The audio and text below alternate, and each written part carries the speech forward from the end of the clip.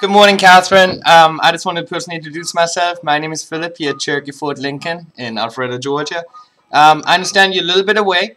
Um, I was hoping to make it worth it for you with our special pricing for you.